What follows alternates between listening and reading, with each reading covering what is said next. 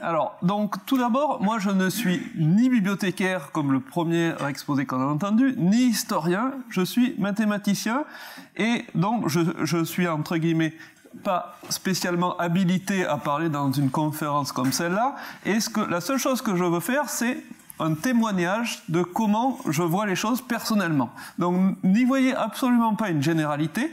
Donc euh, on a vu des choses tout à fait, une vision tout à fait générale, puis une vision historique. Là c'est plutôt, eh bien, mon point de vue, et il faut pas y chercher plus que ça. Ok?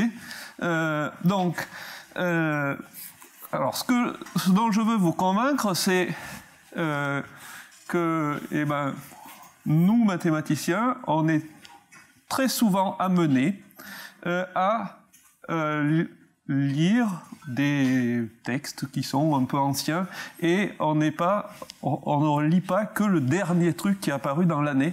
Et je donc je veux vous le montrer sur des exemples et sur des exemples euh, relativement personnels. Donc c'est vraiment des choses que que j'ai vécues de près donc c'est ça que je veux partager avec vous. Donc on, on on pourrait se dire que c'est déjà le, cas dans l'enseignement. Par exemple, mes collègues biologistes, eh ben, euh, quand ils refont un cours, même s'ils font le même cours sur 30 ans euh, d'affilée, eh ben, ils vont devoir se remettre euh, au goût du jour, etc. Le cours de classe prépa euh, en maths, eh ben, euh, celui que j'ai eu il y a 30 ans, je pense qu'il il, est peut-être plus le même parce que le niveau des élèves a baissé, mais disons c'est ce, celui c'est celui disons que voudrait que les profs voudraient euh, que l'on fasse encore aujourd'hui. D'accord? Donc il y a, y a les maths c'est une, une science cumulative et donc on pourrait se dire mais pourquoi regarder des choses plus anciennes et pas regarder juste ce qui vient de se faire? Alors je vais vous donner quelques exemples. Euh, et je vais surtout parler d'un exemple qui s'est euh, passé ici, alors pas dans ces lieux parce que cette partie n'était pas encore construite, mais dans, dans le grand amphi. Euh, et euh, donc euh, Catherine a parlé d'arithmétique, moi je vais vous parler de géométrie, de topologie.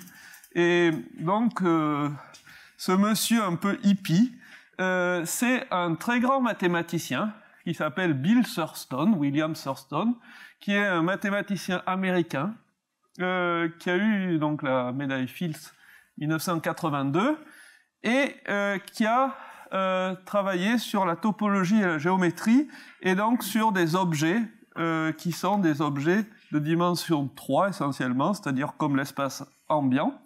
Mais là, ce dont je vais vous parler, c'est d'une autre chose, ce sont de surface. Et donc, je ne vais pas vous parler de, de maths, mais je vais vous parler de Monsieur Thurston et de choses qu'il a pu écrire et donc Monsieur Thurston, donc c'était un, un, très très grand mathématicien. C'était, euh, il voyait les mathématiques. Il voyait les mathématiques. Et une chose qui est très intéressante, je vais vous donner une ou deux anecdotes sur lui, c'est que on, à un moment, on fait l'anniversaire pour les 60 ans de Monsieur Thurston. Et alors, donc ça, c'est un de mes amis, Howie Mazur, qui m'a raconté ça, qui est lui-même un très bon mathématicien américain et qui me dit la conférence pour, les 60 ans de Thornton, c'était très bien, il y avait 80 personnes super brillantes, etc. Mais ce qui était intéressant, c'était questions to Bill Thurston. Donc il y a eu un moment où les gens, euh, où, Thurston a répondu à des questions, et donc chaque, chacun des, chacune des personnes qui étaient dans la salle avait droit de lui poser une question. Et euh, donc c'était tous euh, des, gens extrêmement reconnus, et chacun posait Monsieur Thurston, qu'est-ce que vous pensez de ça? En gros. On a un truc hyper pointu, machin. Et Thurston faisait ça. Et puis il faisait ça trois fois. Et puis il donnait une réponse. Et en gros, chaque, chacune des réponses qu'il a données, eh ben, ça a permis à un, euh, à, la personne qui avait posé la question de faire un article avec. Donc c'était vraiment quelqu'un qui voyait les choses, qui voyait les maths. Et comme il, il, il, voyait, il voyait beaucoup plus loin que, que, nous tous. Et ben, par contre, il aimait pas trop les écrire. Il aimait pas trop les écrire, et même pas du tout. Et, en général, quand il écrivait, ça manquait considérablement de détails. Et euh, c'était euh, euh, c'était vraiment pas ce qui le passionnait. Et et parfois même ça, ça, manquait de, enfin, ça manquait clairement de rigueur. Donc euh, c'est là que j'en arrive au début de mon histoire. Voici ce bouquin qui est euh, euh, euh un astérisque qui, est, euh, qui a été euh, fait en 1979 et qui s'appelle Travaux de Thurston sur les surfaces. Donc les surfaces qui sont des objets euh, de dimension 2. Vous pourrez en voir d'ailleurs dans notre belle bibliothèque, on en a plein. Euh, et donc ce, ce, travail eh bien, a été écrit par un certain nombre de mathématiciens français qui étaient, disons, les meilleurs topologue de l'époque, donc qui s'intéressait euh, à, des formes géométriques et à comment les, faire bouger. Euh, et euh, ils se sont mis à plusieurs pour essayer de comprendre donc des travaux de Thurston euh, sur les surfaces et d'en faire un bouquin tout à fait impressionnant dont je vais parler un peu plus longtemps. Et donc il y avait Fatih, il y avait Lodenbach, euh, Lodenbach que j'ai eu comme prof d'ailleurs, Fatih aussi, euh, euh, euh, Adrien Douady, qui était déjà une, déjà une figure des mathématiques françaises euh, à l'époque, et puis euh, quelques étrangers, dont Sullivan, qui aura plus tard le prix Abel, donc qui était un grand qui est un grand mathématicien toujours, et qui rendait visite à l'IHES à Paris régulièrement, donc qui se retrouvait à être faire partie de ce projet. Et puis d'autres, dont John Hubbard, qui dont le nom va revenir un peu plus tard. Donc, donc c'était vraiment des gens tout à fait euh, excellents et qui se lancent dans essayer de comprendre euh, ce que Thurston leur a raconté. Et alors, ceux qui disent, c'est que ce livre contient l'exposé de résultats de Thurston en théorie des surfaces. Alors donc, ils donnent un certain nombre de termes techniques et ils disent notre démarche suit pour l'essentiel ce qui est indiqué dans le Research Announcement, c'est-à-dire que ça veut dire que de Surton, ça veut dire que Surton n'avait écrit aucun détail, et donc eux, ils doivent euh, euh, se fatiguer à faire, euh, à faire vraiment des démonstrations. Ainsi que les notes de ces cours de Princeton, qui ont été écrites par Handel et Floyd, qui sont maintenant des gens tout à fait respectés, et qui étaient à l'époque des étudiants en thèse, vraisemblablement. Ou en master, ça je sais pas. Et une partie de ce texte est une élaboration des faits exposés dans le séminaire d'Orsay de 76-77, mais nous n'avons pu fabriquer les textes démonstratifs, c'est-à-dire vraiment comprendre les choses en profondeur, euh, euh, que bien plus tard. Et, et ils disent qu'au printemps 78, Thurston nous a expliqué comment euh, faire un certain nombre de choses. Donc Thurston est venu à Paris et a fait une série de conférences. Ça, euh, bon, moi, je suis trop jeune pour avoir vu ça, mais par contre, j'en ai euh, même de nombreuses années plus tard, j'en ai entendu parler comme ayant été une petite révolution. Et donc eux avaient commencé à travailler, ils s'étaient déjà bien préparés, ils écoutent Thurston et après ils passent des heures et des heures à, à essayer de comprendre des morceaux. Ils s'étaient répartis le travail. Donc, euh, voilà ce que donnent par exemple certaines figures du bouquin. Voilà une surface. Voilà ce qu'ils appellent des, feuilletages. Euh, c'est ce un des mots qu'on a pu voir dans, que je ne vous ai pas euh, expliqué, mais qui était dans, dans la, page précédente. et c'est un gros bouquin qui fait 270 pages et qui, pour l'époque, il y a beaucoup de figures alors que c'est une époque juste post-bourbakiste, où il fallait surtout pas eh ben, euh, faire les choses à partir d'une figure. Et donc là, on sent l'influence de Thurston qui, je vous dis, voyait les mathématiques. Il voyait les mathématiques, donc il a transmis ça même euh, aux, à, des, Français qui avaient été euh, modélisés, je dirais, par Bourbaki. il y a plein de figures dans ce texte. C'est pour ça que j'en ai, ai montré un certain nombre. Et euh, c'est un excellent bouquin. Et quand on disait euh, qu'on voulait travailler sur les surfaces et faire de la théorie de Teschmüller, mais moi, à mon, époque, quand j'ai commencé, on me disait, tu vas lire Fatih Lodenbach Poenaru. Ok, donc euh, c'était vraiment, c'est vraiment un, bouquin qui, fait référence. et puis voilà ce dont je veux vous parler en fait, c'est que, eh bien, ils disent toutes les constructions précédentes conduisent à des pseudo-anosophes, ça c'est, bon, je vais pas dire ce que c'est, dont le facteur de dilatation est un entier quadratique. Un entier quadratique, c'est un nombre qui est comme racine de 2, qui vérifie une équation du second degré. Bon, jusque-là, pas très grave. Mais ce qu'ils disent après, c'est les membres du séminaire, donc les membres du séminaire, je vous dis, il y a un, un, certain nombre à travailler là-dessus, ne savent pas construire d'exemples où ils soient de degrés plus élevés. Alors, donc, par, parmi les nombres, eh ben, il y a des nombres qui sont quadratiques, comme racine de 2, comme le nombre d'or, 1 plus racine de 5 sur 2, et puis il y a des nombres qui vérifient des équations de degrés plus grands. Et ça, c'était quelque chose que ils avaient beaucoup travaillé, mais ils ne savaient pas faire. Ils ne savaient pas faire, et effectivement, j'ai relu euh, les parties en question pour préparer l'exposé. Euh, c'est clair qu'avec la construction qu'ils font, ils peuvent pas faire mieux que, que ça. Ok? Euh, et ils sont, ils sont très tristes, ils sont très tristes de ne pas savoir faire ça. Euh, et donc peu de temps après, donc à l'époque c'est un sujet euh, euh, un peu chaud de recherche que les gens veulent comprendre. Il y aura des résultats euh, euh, de, de Jean-Christophe Yokos en particulier, qui aura la médaille Fields, donc ce sera un des premiers travaux du, du Yokos. Euh, je vais revenir là-dessus, mais donc c'est vraiment quelque chose qui les énerve et on voit bien quand on lit leurs textes que ça les énerve. Euh, de pas avoir réussi, euh, de ne pas avoir réussi à, comprendre ce phénomène. Et donc, parallèlement, Monsieur Thurston, donc je vous dis n'aime pas écrire et préfère voir les choses, eh ben il avait écrit, comme ils l'ont dit, il avait écrit, euh, comment ils disent ça déjà, euh, un research announcement. Et donc ce research announcement, eh ben il finit par le publier.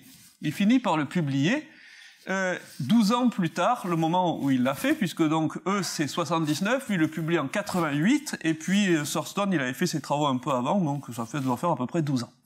Effectivement. Et il dit cet article euh, avait beaucoup circulé comme un préprint, euh, mais en gros j'avais réussi à le publier euh, nulle part parce que eh ben, euh, ben, en gros il y avait aucune démonstration, c'était pas, ça paraissait pas être un article sérieux. Okay ça paraissait pas être un article sérieux, donc Monsieur Thurston, qui à l'époque n'était pas encore lauréat de la médaille Fields, il avait beau être déjà très connu, eh ben les, les journaux se disaient bon ben ça c'est ok, c'est sans doute très bien, mais mais c'est pas encore assez abouti. Et il dit I gave up, euh, j'ai renoncé, and the preprint didn't find a home. C'est-à-dire j'ai pas réussi vraiment à le faire à le faire éditer et à le faire publier. Euh, et puis il dit depuis, bon, il y a beaucoup de choses, et, il dit que, que son cours a circulé sous, sous la forme de notes de Floyd et Handels, de, ce que les FLP, comme il dit, Fatih Odenbach Poenaru, cite aussi. Et que Fatih Odenbach Poenaru, on en fait quelque chose de très bien, etc. Bon. Et puis ça, c'est la fin de, son introduction. La fin de son introduction, il dit bon, mais entre temps, il y a eu beaucoup de choses qui ont été, faites sur les surfaces non compactes, etc. Bon, je vous passe les détails. Euh, et euh, si je commence à écrire euh, les nouveautés, ça va jamais s'arrêter. Puis on sait que Toston Thurston, il n'a pas envie d'écrire. Donc, je, le, je le publie comme il était dans sa forme originale. Donc, fin de l'introduction de Thurston. Est-ce que vous pensez que quelqu'un a envie de lire un texte comme ça? Sachant qu'en plus, il y a un bouquin de 270 pages qui fait ça en détail. OK? Bon. Et d'ailleurs, moi, euh, donc là, 88, c'est le moment euh, où je, enfin, je, je je faisais pas encore vraiment des maths très sérieuses, mais disons, c'était euh, l'époque où, je connaissais Londenbach. Londenbach, il m'a jamais dit, il va lire Thurston. OK? Et, et cet article, je pense enfin, je sais pas, je pense et je suis certain que personne ne l'a lu. D'accord? Personne ne l'a lu. Et alors, est-ce que c'était une bonne idée à votre avis? Eh bien, certainement pas. Certainement pas, parce que il y a un chapitre supplémentaire. Il y a un chapitre supplémentaire euh, par rapport, euh, donc, euh, qui est le chapitre 6, qui fait deux ou trois pages, qui est relativement détaillé d'ailleurs. Et euh, dans ce chapitre, il dit We will describe in detail an elementary construction for a large class of examples of diffeomorphisms in canonical form. Et en fait, si on lit ce chapitre, le chapitre 6, alors effectivement, c'est très dur à lire. Hein. Je veux dire, moi, je l'ai relu là, là, il y a quelques jours euh, pour préparer l'exposé. Je l'avais lu il y a, il y a 15 ans. Euh, je pense que même quelqu'un qui l'aurait lu à l'époque, il aurait fallu vraiment travailler pour arriver à comprendre que ça résolvait la question qui était posée à la page 250 de Fatih Londonbach Poena. Mais, une fois qu'on le sait, je dirais, ça le résout de façon absolument parfaite. Et, et, pour Surstone, je dirais, c'est relativement détaillé. Il explique vraiment comment il faut faire. Euh, ça veut dire que, en gros, euh, il donne un squelette et puis il faut remplir des, trous, mais, le squelette est quand même bien détaillé, relativement détaillé. Et donc ça, je suis certain que personne n'a lu ceci. Euh, et alors, il faut quand même dire que donc entre temps, donc, donc là, je vous dis, Serstone répond à la question qui était dans FLP, et en fait, il devait le savoir bien avant, mais c'est juste que lui voyait les choses de tellement haut qu'il avait, il avait compris tout ça dans les années 70, et puis ça se retrouve dans son, dans son texte. Euh, mais euh, donc, comme je vous ai dit, c'est un sujet important, donc il y a plusieurs euh, réponses euh, à, la question que posait Fatih Odonbach et Poinaru. Donc il y a Arnoux et Yokos en 81, donc Yokoz, donc, qui sera médaille Fields plus tard, en 94. Euh, et puis Vitch, qui, donc vous allez revoir le nom, parce que c'est un des fondateurs de la théorie dans laquelle je travaille. Et je vais vous, vous verrez plus, plus tard son nom revenir. Donc il y avait deux réponses. Mais c'est pas parce qu'il y a deux réponses euh, que euh, la réponse de Sorton n'était pas intéressante. Loin de là, c'est une réponse complètement de nature complètement différente. Donc euh, souvent, c'est bien d'avoir plusieurs en maths, d'avoir plusieurs points de vue sur les choses.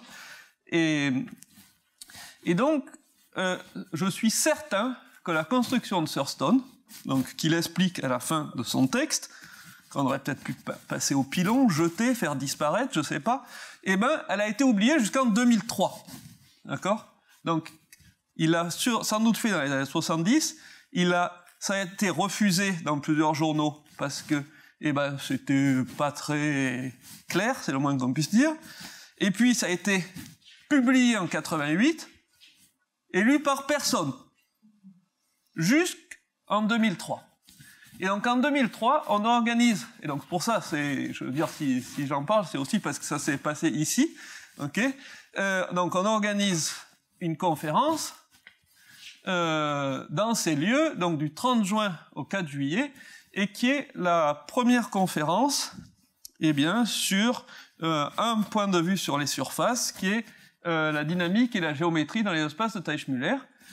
il y avait du très beau monde dans cette conférence, donc, quatre lauréats de la médaille Fields, donc Maxime Kontsevich, Kurt McMullen, Andrei Okunkov qui n'avait pas encore la médaille à l'époque, et Jean-Christophe Yokos, dont je vous parlais tout à l'heure. Et donc, donc tout un tas de gens qui pourtant euh, sont, un, sont très brillants et deux lisent et connaissent beaucoup de choses. Je veux dire, euh, Yokos, il connaissait énormément, énormément de choses. Euh, c'est pareil. Euh, euh, et puis bon, il y avait d'autres personnes dans, la, dans, dans, l'auditorium qui étaient extrêmement cultivées mathématiquement et qui auraient pu connaître ça. Mais quand on vous dit en gros lisez pas l'article, eh ben, je veux dire, euh, il faut quand même pas exagérer. Personne ne va le dire. Il y en avait qu'un qui avait lu les travaux de, de Thurston, c'était John Hubbard. Euh, et alors, John Hubbard, pourquoi il avait lu les travaux de Thurston? Parce qu'il a été obsédé par, le travail de Thurston pendant toute sa vie. Euh, et euh, il a été tellement obsédé par le travail de Thurston qu'il a écrit euh, trois volumes. Et d'ailleurs, on les a pas, il faut qu'on les achète, n'est-ce pas? Nathalie? Il a écrit trois volumes et et, et, dans, et ces trois volumes, eh bien, qu'est-ce qu'il dit dans la préface du, volume 2, qui s'appelle Teichmüller Theorie? Il dit J'ai eu une longue et grande admiration euh, pour le travail de Thurston, etc., etc. Euh, et donc, en fait, ces trois volumes, c'est expliquer les travaux de Thurston, sur lesquels il a eu tant de mal à comprendre, comme tout le monde, parce que Thurston n'expliquait rien, et essayer de, vraiment faire euh, d'écrire ça bien. Donc, donc lui avait lu le avait lu le, chapitre supplémentaire. Et en plus il avait peut-être euh, lu encore davantage puisque la, fin de la carrière de Thurston ça a été à Cornell qui était euh, l'université où Hubbard travaillait, et Hubbard l'avait fait venir, et donc je pense que quand, et, euh, quand il avait fait venir, il avait relu un peu tous ses travaux pour essayer de justifier qu'il devait le faire venir. Et donc Hubbard était prof deux ans sur trois à Cornell, un an sur trois à Marseille, et euh, cette année-là, donc en 2003, il avait fait un cours auquel j'avais assisté, euh, et il essayait absolument de nous convaincre que cette construction était essentielle, importante et, tout ça. Et donc, euh, il se dit, je vais pas simplement convaincre les gens sur place, je vais convaincre tous les participants de la conférence. Et, donc, personne ne connaissait ce truc. Donc ça, c'est des photos qui datent de 2003. Donc vous voyez des surfaces, vous voyez Monsieur Hubbard au tableau, et vous voyez, euh, je ne sais pas trop quoi, mais il y a homéomorphisme qui veut dire euh, des transformations euh, de ces surfaces. Et donc, comme ce n'était pas prévu dans le programme, eh bien on fait l'exposé après la bouillabaisse. Et donc, après la bouillabaisse, tout le monde a bien mangé et bien bu. D'accord? Et Hubbard lui-même en particulier, qui, avait toujours, tendance à pas être le dernier euh, pour se resservir. Et il fait un exposé absolument magnifique. Il arrive à eh bien, intéresser son auditoire, alors qui était beaucoup moins sobre que vous maintenant, ce qui est donc beaucoup plus difficile, et il fait un exposé du, d'une beauté parfaite. Il fait même des calculs de matrices au tableau sans se tromper. Euh, c'est alors que euh, il était peut-être plus très sobre.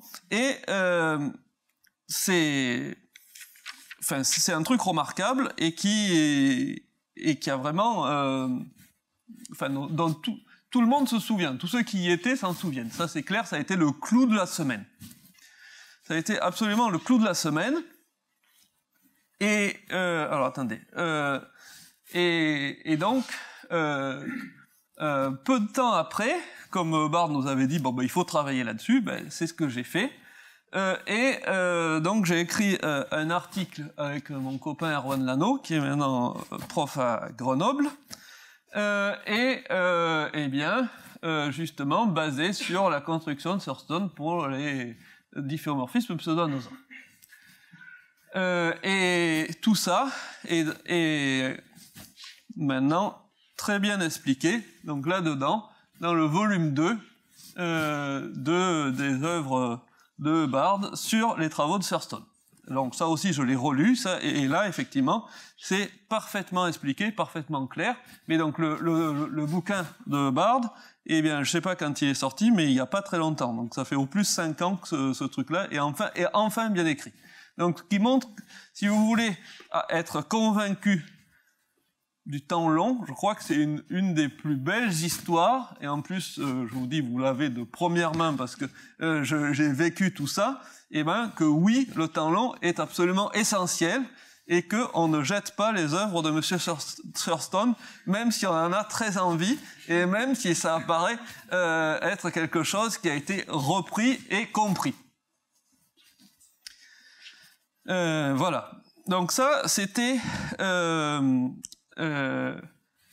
l'essentiel. Et euh, donc, pour la petite histoire, et ça c'est vrai, il y a plusieurs articles, dont le mien, celui avec Erwan Lano, où on cite ça comme étant construction bouillabaisse, parce que Thurston des constructions, il en a fait plein.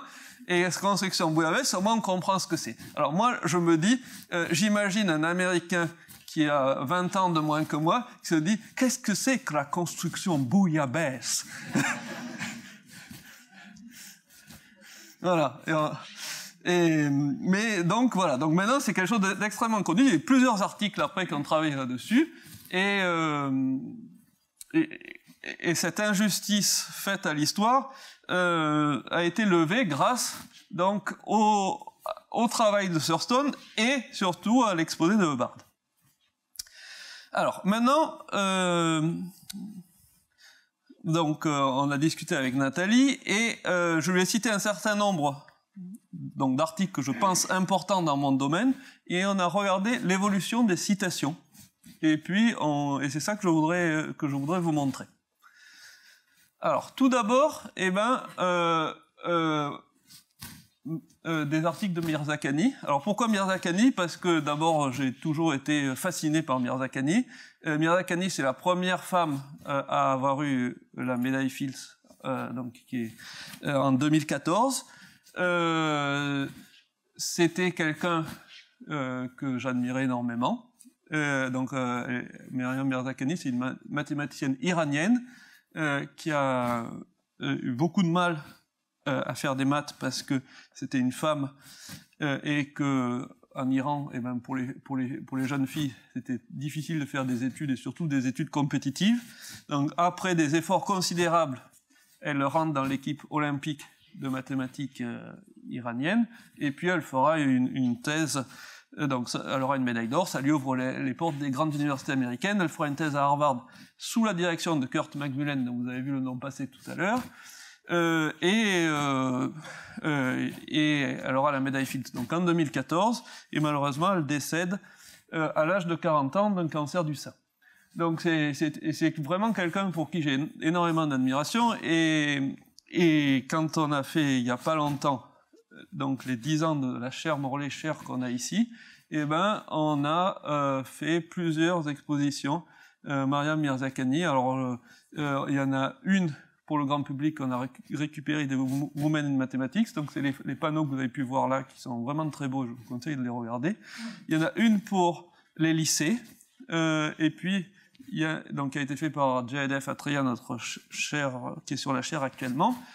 Euh, et puis une qui a été faite par Anton Zorich pour euh, euh, les mathématiciens et mathématiciennes professionnels. Voilà, donc vous pouvez regarder celle de JLF est dans la bibliothèque maintenant. Oui, voilà, donc je vous invite à jeter un coup d'œil à l'exposition de JLF dans la bibliothèque. Donc Myriam Mirzakhani, parce je vous dis parce que c'est quelqu'un que j'admire énormément et parce que euh, c'est une mathématicienne absolument prodigieuse au niveau des idées, justement au niveau de, la conception géométrique euh, des choses. C'est vraiment quelqu'un de qui était absolument remarquable et qui on se demande où elle allait chercher ses idées. Euh, et donc là, donc ça c'est un de ces trois articles de thèse. Donc voilà, trois articles de thèse vraiment qui ont été très importants. Euh, et euh, on a regardé les citations. Et ben euh, il y, a, plus de la moitié des citations qui ont et qui sont des articles qui ont été faits dix ans au moins dix ans avant de son travail. Donc là aussi, le temps long. Et là maintenant, c'est les citations de, de, cet article de Mariam. Euh, alors, donc euh, cet article de Mariam, eh ben, vous voyez, il, a été fait, euh, si je me souviens bien, en 2007, c'est ça? Voilà. Et donc en fait, quand il a été publié en 2007, ça veut dire qu'il a été fait en 2004 ou 2005. Euh, eh bien, bon, pour ce que je comprends de l'histoire, et ça je pense que je suis assez bien placé pour le, pour le savoir, mais il a mis dix ans pour être vraiment compris. Souvent, les articles fondamentaux en mathématiques, il faut au moins dix ans pour les comprendre. Et là, vous voyez, et c'est très clair vis-à-vis des citations. Il commence à être vraiment beaucoup cité, euh, et eh ben, à partir de 2017. Et puis euh, là, dans les dernières années, euh, là, les gens ont vraiment maintenant compris et, et ont suffisamment compris pour euh, pas avoir simplement compris les résultats, mais avoir compris les méthodes et pouvoir les utiliser. Et donc maintenant, maintenant, maintenant, il y a toute une effervescence autour des surfaces aléatoires où les gens, eh ben, utilisent les travaux de Mariam Mirzakhani. Et quand vous allez dans une conférence sur les surfaces aléatoires, euh, ce que j'ai fait récemment, euh, ici d'ailleurs, eh ben, vous entendez euh, par le truc de, les travaux de Mirzakhani, blablabla, toutes les cinq minutes. Mais il y a, il y a il y a, disons, euh, disons 2007 ou 2008, quand ces, ces, trucs ont été faits, il y avait essentiellement personne qui avait compris les méthodes. Et ça, ça je le sais de source sûre, parce que j'en ai parlé avec mon copain Anton Zorich, qui est un de ceux qui a le mieux compris ces choses-là. Et, et, en gros, il m'a dit qu'il avait mis euh, 7-8 ans avant de comprendre vraiment comment ça marchait. Et c'est le cas de très souvent d'articles profonds. Et donc euh, ça, c'est un autre article. Euh, alors attendez, oui, c'est, ça. Oui, ça c'est un, autre de ces articles de thèse. Donc là, il y a 20 sur 34 références euh, qui ont plus de 10 ans. Ok. Euh, et puis, ben, c'est pareil. Vous voyez que là aussi, donc ça, ça a été publié à peu près au même moment. Ben, vous voyez que là aussi, eh ben, le nombre de citations grandit de façon considérable. Et pour avoir assisté à des, donc des conférences là-dessus, eh ben, c'est évident qu'au début, les gens citaient essentiellement les résultats et maintenant ils utilisent les méthodes. Et donc, euh, euh, ce qui est important pour nous, c'est justement de, de se baser sur les méthodes d'une grande mathématicienne comme Mariam pour essayer d'aller un peu plus loin. Et pour ça, c'est bien d'avoir compris le résultat, mais si on a compris ce qu'il y a dans l'article, eh ben on va nettement plus loin. Et donc, je vous en montre un troisième. Donc ça, c'est un travail qu'elle a fait avec Alex Eskin. C'est la moitié de sa médaille Fields. Euh, et ça a été surnommé par Anton Zorich le théorème de la baguette magique. Ça, je trouve que c'est très beau. Parce qu'en gros, avec ce théorème, on touche un sujet dans notre domaine des surfaces et on arrive à en faire quelque chose de nouveau. Tellement c'est un truc puissant. Donc c'est un article qui est très long, hein, euh, qui fait euh, plus de 200 pages. Euh, et donc là encore, eh ben, donc c'est un article qui est très long, donc il y a beaucoup de références aussi. Eh ben, il y en a 72 sur 112 qui ont plus de 10 ans. Et l'article le plus ancien qu'il cite, eh ben, c'est 1947. Okay et pourtant, si vous voulez, tout n'est pas parti, c'est très long, mais tout n'est pas particulièrement détaillé. Euh, j'en ai lu des bouts, euh, uniquement des bouts d'ailleurs, euh, et on transpire quand on lit ça. Je veux dire, c'est pas un roman de gare. Donc, je veux dire, ils n'ont pas ils ont pas cité tout ce qui tout ce qui leur passait sous la main. Ils ont dû citer que cité que des trucs qui sont vraiment reliés à leur travail. et donc, alors là, c'est pareil. L'article est paru en 2018, mais en fait, il a été fait en 2014 peut-être même avant, mais je pense que c'est 2014, 2013, ça devait être des trucs annoncés, euh, parce que bon ben il fallait relire 200 pages par plusieurs personnes, vérifier que c'était juste. D'ailleurs, si, si vous avez lu le, si vous avez regardé le film sur euh, Mierzakani qui s'appelle The Secret of the Surface ou le secret de la surface en français, qui est sur Arte, qui est extrêmement bien fait, que je recommande à tout le monde. C'est pas du tout un film mathématique, c'est un film sur la, vie de Mariam et sa façon de travailler et eh ben, euh, il vous explique qu'il y a eu une première étape dans cet article où tout, s'est écroulé parce que tout était faux, puis ils ont trouvé une erreur, puis ils ont remis encore un, ou deux ans à, euh, à, réparer les trous. Donc ça, je me souviens d'avoir vu Alex Eskin à l'époque désespéré, puis après avec un grand sourire. Euh, et, donc là encore, eh ben, on voit euh, que les citations s'envolent au bout d'un moment. Et alors pour tout vous dire, eh ben, je suis à peu près convaincu que c'est un article qui a été fait en, en 2014, qui est énorme. Il doit y avoir quatre ou cinq personnes qui l'ont lu vraiment. Et je pense que il va y avoir, dans les, il y a plein de méthodes hyper intéressantes dedans. Et je pense que pendant encore 15 ans, eh ben, euh, on va euh, utiliser non plus les résultats, ça les résultats ils ont été utilisés, mais les méthodes vont être utilisées pendant encore au moins, au moins 15 ans, euh, et on va encore se dire, ah oui, mais il y avait ça, mais ça c'était dans, dans la ski de Mirzakani, euh, perdu au milieu d'un lemme. Euh, donc je suis sûr que euh, si il y a les 50 ans du RNBM, et eh ben, euh, il y aura encore des citations euh, à cet article en quantité, si vous voulez. Et, plus pour vraiment pour les mêmes choses. Bon, alors continuons. Donc ça c'est bon, l'ensemble des trois. Euh, et ça c'est en tableau. Et donc là vous voyez très bien, je pense aussi, ben, qu'à la fin il y a beaucoup plus, il y a, des, nombres beaucoup plus grands. Alors maintenant je reviens sur Monsieur Vitch que vous avez vu apparaître tout à l'heure sur cet article de 1982 dont je vous ai parlé.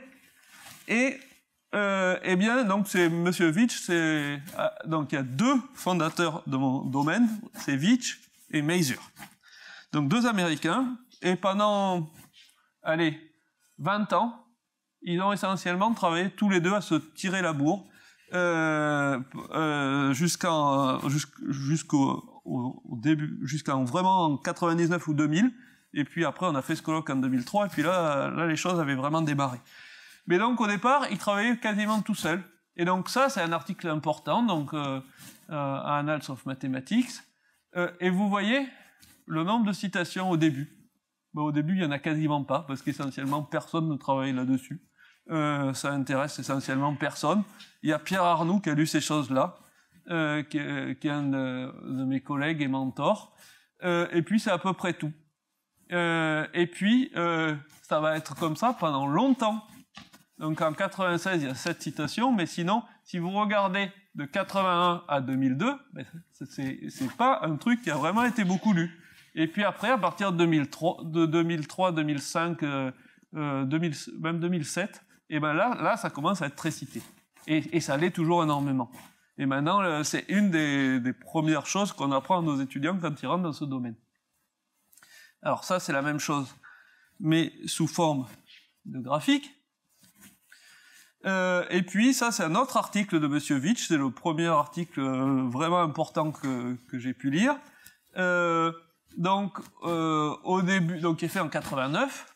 Au début, il y a essentiellement aucune citation jusqu'à l'an 2000, mais vraiment aucune. On aurait pu se dire, ce truc, il pas très intéressant. Euh, pas la peine de le garder, il n'y a pas de citation. Et ben, et après, vous voyez. Et donc ça, c'est les premières citations. Donc en plus, les premières citations, c'est qui? C'est Vitch lui-même, qui a compris ce qu'il avait fait quand même. Euh, lui-même, et puis euh, son concurrent, Howie Mazur. Et puis en gros, après, donc Monsieur Holt, dont je n'ai jamais entendu parler, euh, qui a dû... Euh, et après, voilà, il commence à y avoir des gens, Goodkin, Vorobet, et puis nous, euh, on commence à partir de 96 jusqu'à 2000 à commencer à citer ce travail. Le truc a été fait en 89, euh, donc euh, ça fait, ça commence à faire du temps. Et là, on est encore que très peu à avoir lu ces, à avoir lu ces travaux. Donc ça, c'est pour vraiment vous montrer qu'en plus au début, eh ben, c'est même pas, c'est vraiment interne quoi les citations. Et c'est un papier qui est maintenant donc est très cité et euh, dont je parlais à midi euh, avec le cher Morley de JDF à Treya, quoi. Je veux dire. et là, alors truc encore plus intéressant. C'est encore un papier de Vitch. Alors Vitch est aussi quelqu'un qui écrit pas très bien, qui est très précis, mais qui est très illisible. Et ça, c'est un papier qu'il a fait en 69. D'accord? Donc, euh, l'année de ma naissance. Donc, euh, eh ben, euh, vous voyez que ce papier, eh ben, année après année, il continue à être cité. Euh, et 50, 50 ans après, il est toujours utilisé et il est tellement, et je pense qu'en plus, comme je vous dis, il écrit pas très bien. Je pense que là, alors ça c'est peut-être pas une main, mais c'est au plus deux mains de gens qui ont lu cet article. Et à mon avis, c'est plutôt une main, qui l'ont vraiment compris. Et je suis persuadé qu'il y a encore des tonnes de trucs à comprendre dedans. Et justement, euh, JDF, euh, donc euh, mon collègue américain là, qui est là pour six mois, et ben avec lui, on a ressorti cet article. Il est dans mon cartable et on aimerait bien le comprendre. Et on a commencé à l'ouvrir, on s'est vu que c'était compliqué, on l'a refermé, on a essayé de, faire d'autres choses, mais il y a un moment, il va falloir qu'on s'y mette vraiment. Et je suis persuadé qu'il n'y a pas grand monde qui pourra nous aider parce que je pense qu'il n'y a pas grand monde qui l'a compris. Donc ça, ça vous montre encore une fois que le temps long peut être vraiment long. Et je suis sûr qu'il y a des trésors, on a déjà compris un truc qu'on n'avait pas vu du tout, et je suis sûr qu'il y a des trésors dans cet article qui n'ont jamais été déterrés. Et donc ça, c'est sur les années, voilà, pour vous montrer euh, euh, comment il, ce truc a été cité. Alors ensuite, Nathalie s'est amusée à, à, prendre mon article de thèse et un autre article, et tout ça pour vous... Euh, bon, donc c'est des articles beaucoup moins intéressants, euh, mais c'est tout ça, c'est pour euh, vous montrer quoi Que, eh ben, eh bien, donc ça c'était en 95, euh, et ben en 95, je m'étais basé sur euh, des, des, articles des années 80, 70, 40, euh, etc. Et puis euh, je termine, euh, je crois à peu près dans les temps, en vous montrant eh bien l'article que j'ai fait avec Erwan Lano, donc poussé par Monsieur Hubbard, sur la construction de Thurston. Et donc dans cet article, eh ben, euh, je vais vous montrer les articles anciens que l'on cite. Donc Arnaud Yokos, dont je vous ai parlé. Donc le fameux, euh, alors ça, ça doit être une autre version, mais de Fatih Odonbach pour. Donc euh, un article de Vorobet qui était de 96. Donc ça, c'est 2007. Hein. Euh, donc un, bouquin de 92, un autre bouquin de 92, et puis euh, un, texte ancien de 79, donc le fameux papier de Thurston qu'on remettait à l'honneur dans, dans, ce travail, euh, et puis euh, des papiers de Vitch, donc des années 80. Voilà. Et donc ça, je pense que c'est assez typique d'un article de maths. Donc euh, j'aurais jamais osé montrer un propre article, mais merci Nathalie, parce que je pense que euh, c'est tout à fait typique d'un article de maths, où il y a au moins euh, le tiers des, euh, eh ben des, des, des, textes que l'on cite qui sont des textes anciens. Et en, et en plus, là, non seulement il y a le, le tiers des, des, textes que l'on cite qui sont anciens, mais en plus, je pense euh, que c'est ceux qui, étaient, qui étaient vraiment les plus utiles pour le travail.